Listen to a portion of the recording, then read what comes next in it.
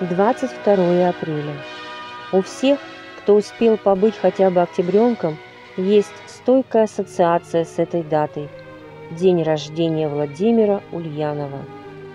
Сегодня 151 годовщина со дня рождения вождя мирового пролетариата Владимира Ильича Ленина.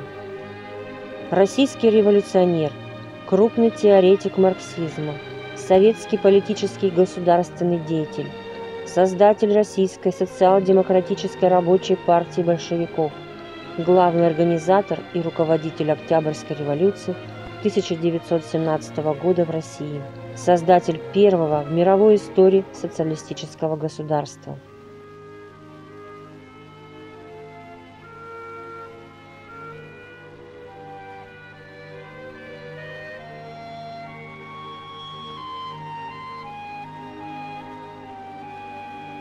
Мнения и оценки исторической роли Владимира Ульянова-Ленина отличаются крайней полярностью.